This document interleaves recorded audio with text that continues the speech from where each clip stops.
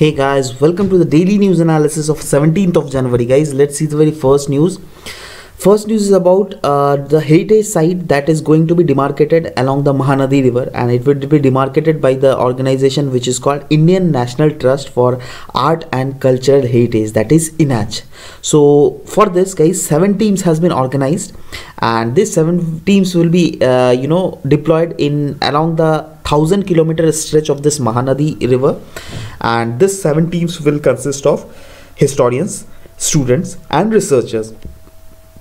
Guys these all people will you know search out for the intangible and tangible culture heritage that will be founded along Mahanadi river. Means see there are still different tangible heritage like temples uh, play, play palaces and forts. But these are not being studied so far right? If these are being studied by the historians students and researchers then some sort of you know uh, evidence can be found that whether that they can be recognized as the you know uh, cultural heritage or not. And if they will be at all be recognizable so you know these researchers i mean these all teams will you know uh, give their final report to the government and government will decide whether that to be allotted as a you know cultural heritage site for india or not right? And guys not only tangible heritage as well as intangible heritage like folk songs folk dances tribal art and craft will also be seen whether that any innovative crafts are found along this river or not right? And it, uh, I mean, regarding the Indian National Trust for Art and Cultural Heritage, guys, it was founded in 1984 and it is an autonomous non-governmental organization which is a non-profit society whose main aim is to preserve the India, Indian culture and heritage. All right. And if you at all want to see the extent of Mahanadi Basin, guys, so this is the region from where the Mahanadi arises. All right. And uh, yeah, these are the basins of Mahanadi, this huge basin of Mahanadi as you can see in this graph. And there are few you know factual thing also i want to discuss with you that it rises from the raipur districts in chhattisgarh as you can already see in map and the main tributaries of this mahanadi river are Seonath jong Hasdeo Ma- uh, mand ib ong and del okay so these are the I mean tributaries of uh, you know this Mahanadi river which is also mentioned in your geography book. That's why I thought of discussing it with you here also next is about a board which is called central advisory board of education. Actually the sixth meeting of this board has recently been organized under the chairmanship of ministry of human resource and development and decisions were taken regarding the issues which were being raised by the state government. Now they under uh, this uh, board meeting guys actually a decision has been made on launching an operation which is called operation digital board. By by the meaning also you will be getting to know that what is what must be operation digital board right? So in all school it is being said that this operation digital board will be you know implied within the five years and the money for this operation digital board will be jointly be undertaken by the central government state government corporate session, uh, social responsibility fund as well as community donations will also be taken for the implementation of this operation digital board all right. And it is said that uh, after this operation the quality of education will surely be getting improved and students will be empowered with 360 degree of information with interesting learning experience since everything will be done on a digital board and teachers accountability will also be increased in future days in i mean future upcoming days right? So if if you read about this board guys so it was mainly established in 1920 but it was dissolved after three years. In that is in 1923 it was got dissolved but yet again revived on 1935 and till from 1935 till now it is still running right? And uh, this is the highest advisory board uh, to advise the central and state government in the field of education. And if you at all want to see more of the function then it basically reviews the uh, progress of uh, education in india from time to time as well as if the central government or the state government ask uh, from this uh, you know board that what are the you know regions which is i mean what are the regions of improvement in education sector then this board suggests them. As well as it's not that whenever they ask then only this board will suggest them. In fact this board has a power to you know give the so motive suggestions to the central or state government also right? Regarding any sort of education question. Next news is about bbin motor vehicle agreement. Actually it was a news because bangladesh india and nepal have agreed on the text of the operating procedure for the passenger vehicle movement in the sub regions under the bangladesh bhutan india nepal motor vehicle agreement that is called MBA, BBI and MVA. All right, and it was signed though in 2015, but uh, you know it got stuck in between just because of the reason that Bhutan has said that we will no, not be joining to the process, and Bhutan had still not ratified this agreement. Basically, see, Bhutan though has not ratified the agreement, but uh, Bhutan has given the consent for it though. I mean, it is being see, negotiations are still going on, right? So you know uh, I mean, it will take time whether whether you know Bhutan will actually agree on to this agreement or not. But let's see what happens. But still, you know, this is being proceeded uh, in ahead, right? Bhutan has said earlier that uh, we are not going to join this agreement just because of the reason that since uh, through this agreement the extent of I mean the number of water vehicle entering our country will become increase, and since they will increase, then you know it is not good for the environment of our country, right? Because they are in environment friendly country. But still let's see what happens whether they accept or not. And regarding the customs and tariff i mean under this motor vehicle agreement what will happen is that like the, the, the cargo vehicles earlier they were not allowed to pass the borders. Say for example if the vehicle is carrying out some sort of product from india to bangladesh then at the india bangladesh border what used to happen was that in the border the cargo from india had to be you know uh, i mean they have to take out the uh, materials whatever they are taking from uh, india right? And they had to pass those you know goods or uh, goods whatever they are taking to other cargo and that will be the cargo of Bangladesh government, right? And they then they will send that cargo, they will allow that cargo to enter their country. But if this agreement will be signed, it is said that the Indian cargo can directly enter the Bangladesh, right? They won't be, you know, checked so much. I mean, they would be checked, of course, but you know, earlier the kind of restrictions used to that used to follow those kind of restriction will not happen since the motor vehicle agreement has already been signed right? So it is indeed said that you know uh, the regional integration will be enhanced within all these four countries if this comes into force all right and as an institutional mechanism of for this regional integration will also be set up uh, among these south asian countries. And guys uh, customs and tariffs will be decided on the bilateral and trilateral forum uh, trilateral forum. Say for example i mean if uh, india and nepal wants to sign any you know motor vehicle agreement that what sort of uh, you know uh, customs and tariffs will be implying on the you know uh, vehicles who's entering our country right? So if at all they want then india and uh, nepal can you know sit together and bilaterally bilaterally also they can solve this problem and if india is sitting with some other i mean th- if three countries or four countries are sitting then in multilateral forum also these kind of decision could be taken right? It's not mandatory that in bilateral uh, forum only this decision will be taken right? So anyways this was about this agreement. Next news is about a special force joint training exercise between india and us military forces and the name is vajra prahar right? Just remember the name vajra prahar. And it is said that the aim of the exercise is to promote military relations between the two countries as well as interoperability will also be enhanced between the two countries. Main thing will be the tactics exchange. That is we'll be getting huge tactics from the military of uh, united states of america right? And it is said that through this exercise uh, i mean we both the countries will you know strengthen ourselves in the regions like counter-insurgency counter-terrorism environment and the main focus of this special operation will be on urban areas because the terrorism you know terrorist activities usually happen in urban areas right? So it is indeed a very good indication between the military exercises between the two countries also. Next news is about iprism see it is basically an uh, ip competition which is being organized by the government right? And uh, it is uh, it has been organized for the young creators right?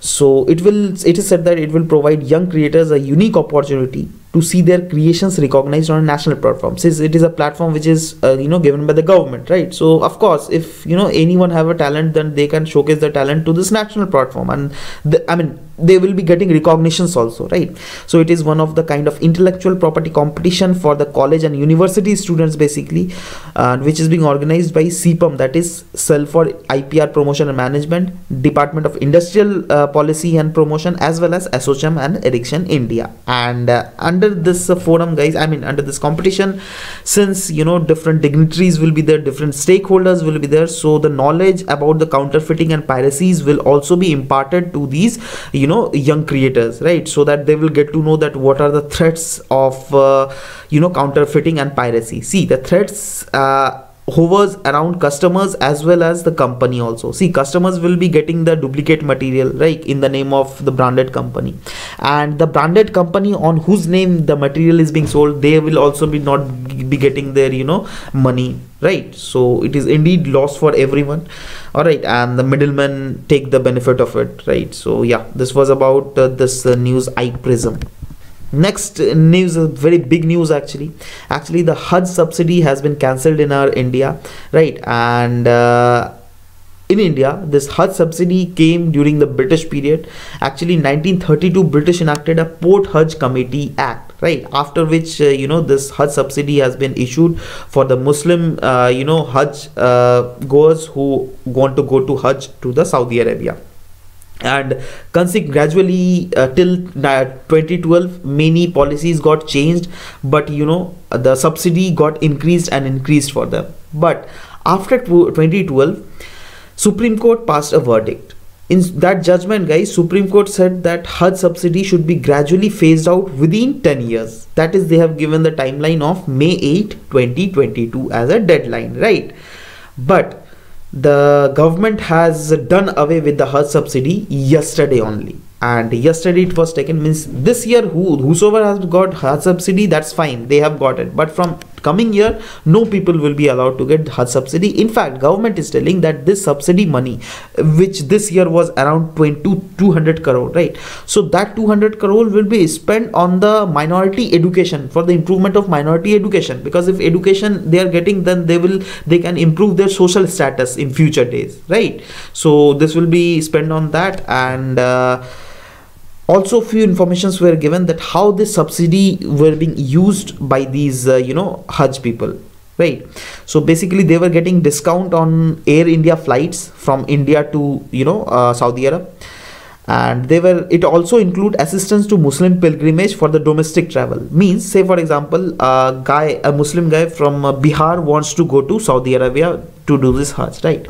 Now from that bihar he will first go to you know mumbai so from for coming from Bihar to Mumbai also he will be getting you know subsidized subsidized rate by the government. All right. So here also he's getting a subsidy, and from uh, like Mumbai to you know Saudi Arab also he's getting subsidy, and subsidy will be from at every aspect from lodging to medical care to meal whatever they had. Every to every you know project uh, subsidy is being given by the uh, central government right?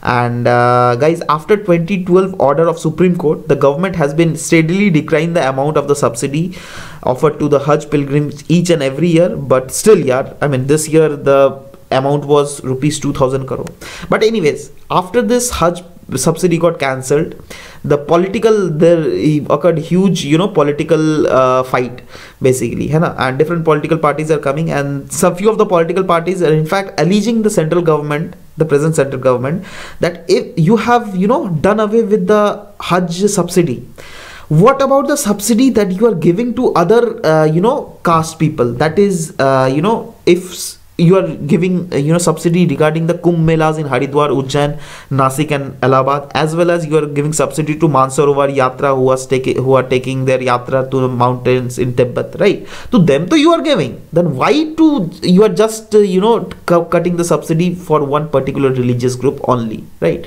So it is indeed a matter to be uh, you know discussed upon. I mean this matter can be mooted right? So we'll just read about it in the editorial discussions also but uh, yeah let's see what happens next.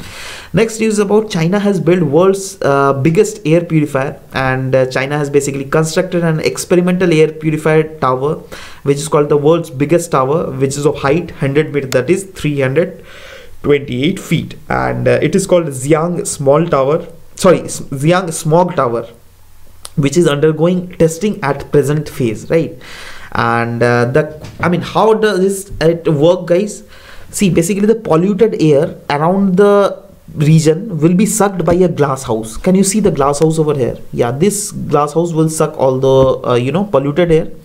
And uh, when the air will enter this glass out then the air will be heated upon by the application of solar energy now since the air will be heated then it will become light and light air always move upwards right? So it will go through this tower.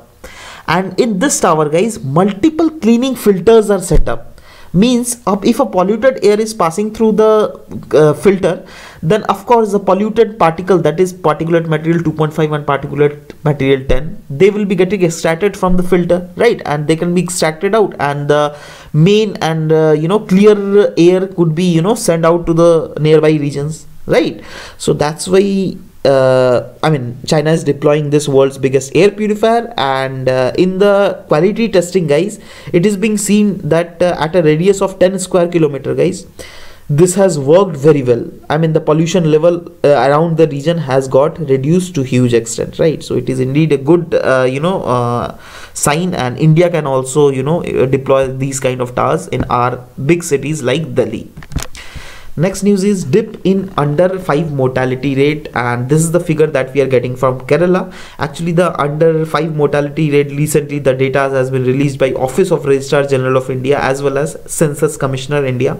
So they have said that under 5 mortality rate in kerala region has got reduced from 13 uh, per thousand life which was the rate in 2015 to 11 per thousand live birth right? Means presently the number is 11 per thousand under 5 mortality rate which is the lowest in whole india guys. Trust me. Because uh, you know it's written also the give uh, data are also given that in madhya pradesh it's uh, 55 then all over india's average is 39 whether the uh, i mean the regions like punjab maharashtra and tamil nadu have the figure like 24 21 and 19 and in that case kerala's figure is 11 then it is a huge achievement for for Kerala indeed. And not only in this regard sector guys in infant mortality rate also that has also been dropped by 19% in Kerala from the year 2004 2006 to 2014 and 2016 and however the data released by the ORGI that is Office of Registrar General of India has uh, still found that though these health indicators in these health indicators Kerala has done far better but in other indicators like gender divide urban rural gap so these are the sectors where kerala is still lagging far behind right? Like other uh, uh, like other states of india. So these are the regions i mean this is the factual news which we have already discussed. Next news is about Smart City Summit. Actually, Smart City Summit has organized by the Federal of uh, Indian Cham uh, Chamber of Commerce and Industries, and uh, in this summit guys basically different dignitaries has come and they have given the dialogue and bhashan what we call in hindi. So they have given you know um, many announcements and they have also said that uh, up till now 90 smart cities have also already already been allocated and for those 90 cities 82 special purpose vehicles has already been formed. And still 10 remaining you know uh, smart cities will be soon they will be selected and on them also work will be uh, very much i mean started very early right? So let's see about this smart city mission that what they have said about it.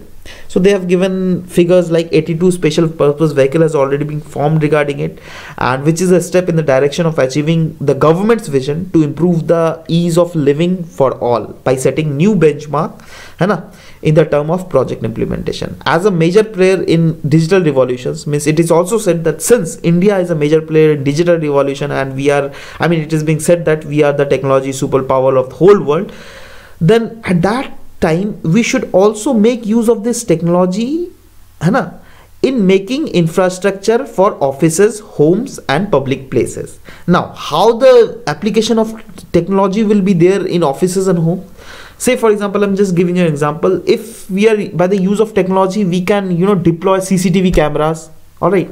We can uh, you know install any sort of smart application right which will do away with all the crimes in that is happening in the society. This might happen right? See those are not discovered i know but they might be discovered because technology is endless. You can discover anything right. So that's why this uh, smart city summit was being also also being organized and few of the facts were also being imparted which i've already discussed with you. And if you're writing any answer about smart cities then if you at all want to see the points at what points can be written on the on the this given topic then you can choose it from here guys. I will not discuss because it is quite you know clearly mentioned. You just read about it guys please Anna.